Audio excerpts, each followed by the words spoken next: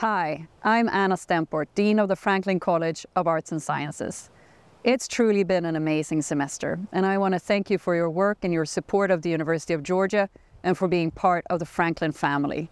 This fall, we launched the Jill and Marvin Willis Center for Writing, thanks to the generosity of our donors.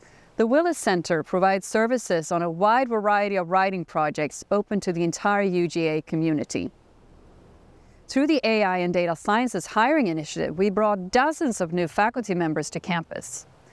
Advancing multi and interdisciplinary collaboration is a priority for the college.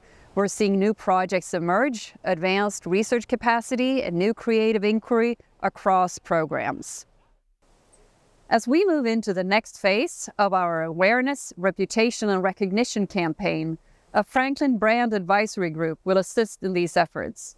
Over the coming months, there will be opportunity for all Franklin stakeholders to contribute to the visioning process.